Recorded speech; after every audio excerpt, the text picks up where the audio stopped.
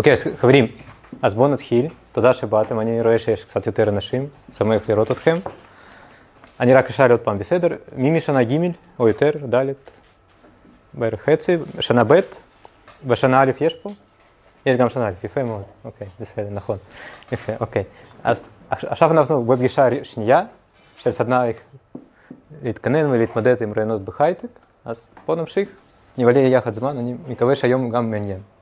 אוקיי, היום קצת גם נדבר על פסיכולוגיה, אבל ממש קצת. אוקיי, אז כמו שאמרתי, ברוכים הבאים.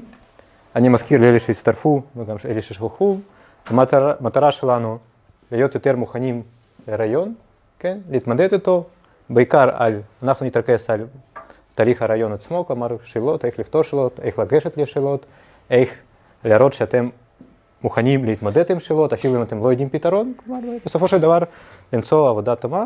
בסופו של דבר אנחנו קצת נזכיר דברים לגבי CV, נדבר קצת על ספרים שיכולים לעזור, גם על למידה עצמית שאפשר לעשות אונליין ודברים אחרים. זה בגדול פלוס מינוס מטרה שלנו של הסדנה. אוקיי, אז עכשיו אנחנו קצת, כמו שאמרתי פעם, אני גם למדתי פה בנוסף למדעי מחשב בחוג ולפסיכולוגיה, אז אני ממש קצת פשוט רוצה להראות דבר אחד, שגם קשור לרעיון עבודה כמובן. אוקיי, אז שאלה כן, מה אתם רואים פה? כן, זו שאלה מעניינת, מישהו רואה משהו? אבל, כן, זה אפשר גם, כן. אוקיי, אז אתם, אתם יודעים מה זה, נכון? זה טסט של רורשארק, שהוא מאוד מפורסם, למה הוא מפורסם? כי בדרך כלל בסרטים של הוליווד אנחנו רואים, כן, מה אתה רואה פה, מה אתה רואה פה, גם אנחנו חושבים שרופאים, פסיכיאטרים, רופאים פסיכולוגים קליניים משתמשים בזה הרבה, כן? השאלה האמת היא, אה, כן, אוקיי, בסדר, נדבר על זה עוד קצת. אוקיי. בסדר, פעם היה מאוד מקובל, עכשיו פחות, כאשר בן אדם עובר תהליך רעיון עבודה, באיזשהו שלב הוא מדבר עם HR או עם פסיכולוג, והיו מבקשים אותו לצייר או בן אדם, או עץ, או בית. שמעתם על זה? נתקעתם בזה? עכשיו זה פחות מקובל. פעם זה היה מאוד מקובל, והיו בפורום, היו כותבים אנשים, אתה חייב לצייר עץ ככה, שיהיה לו עלים, אם אין לו עלים זה לא טוב, לא ייקחו אותך, אתה צריך שיהיו לו שורשים, ותצייר ככה, ככה. היו הרבה אנשים, אפילו היו אנשים שהיו מעבירים סדנאות, ככה שור אחת או שתיים, איך צריך לצייר עץ או זה וזה, ולמה? כי היו חושבים שמזה בן אדם יכול להסיק בעצם על אופי של מתכנת החדש, האם תוכל להסתגל בעבודה, לא תוכל. אז אני אגלה לכם עכשיו סוד, אבל זה לא סוד, אולי זה סוד לאנשים במדעי מחשב, אבל זה לא סוד למדע. אז בגדול, וזה כבר ידעו מדעים מבחינת מחקר, הרבה מחקרים, כל הטסטים האלו, גם טסט הזה, אותו לא נותנים ברעיונות עבודה, אבל הוא מאוד מפורסם. גם הדברים כאלו שתצייר, לא יודע, ילד או עץ, כן, כנראה שאלו לא יקרו, אבל זה של ילדים, אבל בסדר, אוקיי. אבל הטסטים האלה, מבחינת מדע, מבחינת מחקר, הם לא reliable, הם לא אמינים, והם גם לא עקביים. כלומר, מבחינת מדע, להשתמש בטסטים האלו זה סתם, זה שטות, זה לא נכון. הם לא עובדים לרוב המקרים.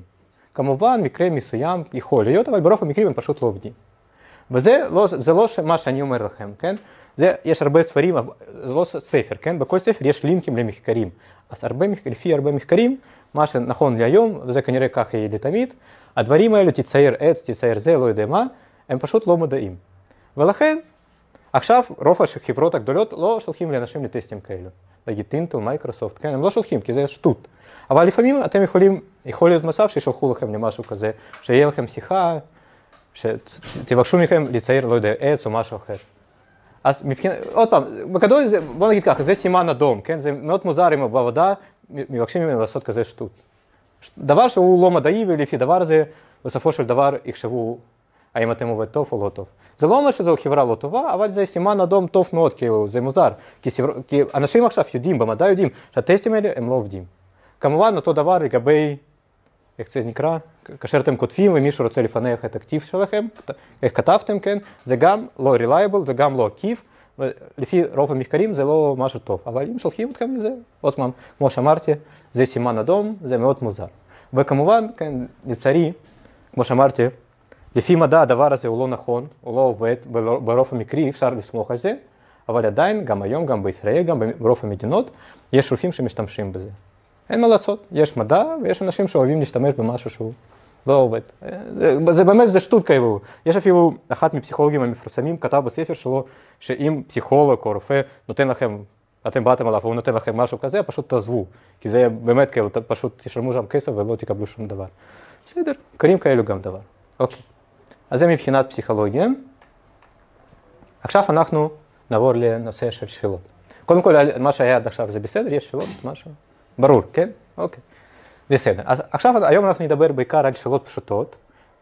בדרך כלל, לפעמים נותנים ברעיון, יכולים, אתם יכולים לקבל שאלה, מה זה שאלה פשוטה? זה בסופו, בסופו של דבר זה כנראה שאלה עם פתרון פשוט, אבל הניסוח יכול להיות לא חד משמעי, יכול להיות לא מובן ממבט ראשונה, אבל בכל זאת צריך להתמודד את השאלה, צריך להראות נכונות לפתור אותה, לנסות לפתור אותה ולהראות למראיין שאתם מסוגלים להתמודד מול הבעיה. אז היום אנחנו בעיקר נתרכז בשאלות פשוטות ואתם תראו יחסית פשוטות, אוקיי. אבל מה זה, בואו נראה, אוקיי. אז כמו שאמרנו, חלק מהשאלות הן יחסית, מהשאלות יחסית פשוט, אבל עדיין צריך לראות שאנחנו יכולים לפתור את השאלה. אז מה יכול לעזור לנו להתמודד עם השאלה? אז כמו שכתבתי פה, אפשר לנסות לפתור שאלה יותר פשוטה. למשל, אתם מקבלים שאלה, צריך לפתור משהו, כן? ויש שם הגבלות, כך שזה יתקיים, זה יתקיים, זה יתקיים, זה יתקיים, ונגיד שאתם לא יודעים לפתור את השאלה. אז אולי כדאי לנסות לפתור שאלה עם פחות אילוצים. לזרוק כמה אילוצים ולנסות לפתור שאלה יותר פשוטה.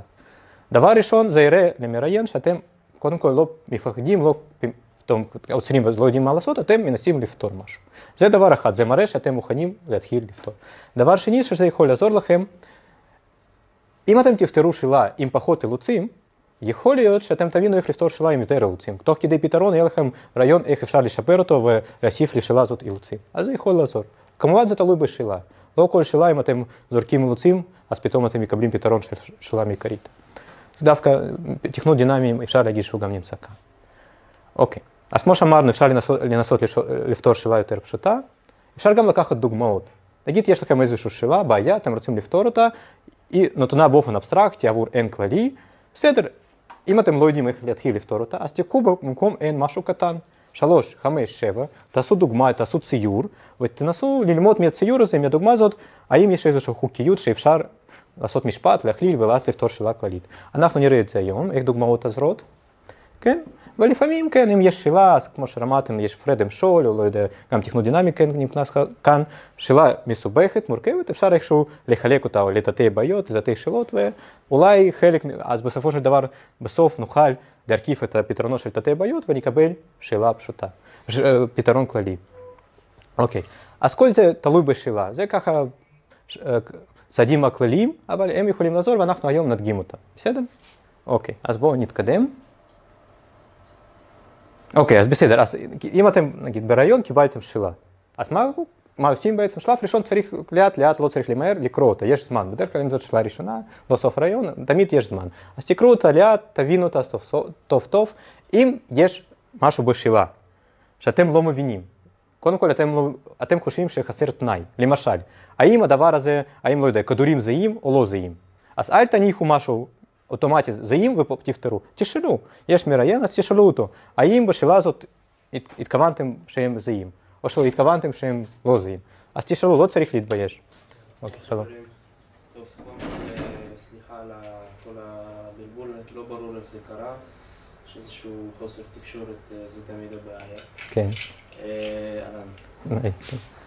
אני חושב שהיום אנחנו פה, אוקיי, ויקה, את דואגת לכל הנושא המנהלה? אוקיי, יש לנו פה חברת ועד למופת. בכל שאלה, בכל נושא, מפעם הבאה העולם שלנו זה אלף ואחד, אוקיי? אני אדאג שלא יהיו יותר כאלה טאקלים. וזהו, המיזוג פה קצת חלש, נכון? אפשר, כן.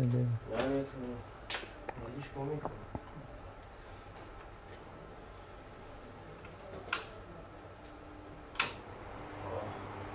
אתם רואים?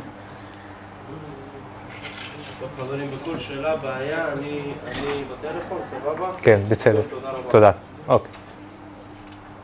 אוקיי, חברים, אז בואו נמשיך.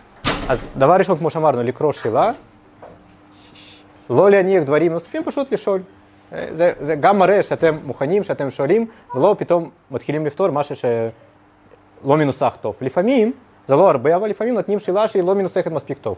ומצפים מכם שאתם יגלו את זה ותשאלו, מה כאן, מה כאן, האם זה, למה זה חסר, מה התכוונתם פה. וזה תפקיד שאתם תעשו, וזה בעצם מראה שאתם יודעים שזה לא ברור, ושואלים על זה, ואז מתחילים לפתור. בסדר? אוקיי. אז בואו נמשיך.